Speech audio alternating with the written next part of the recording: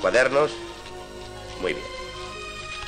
Era un hermoso día de primavera, un día que llegó a la tierra.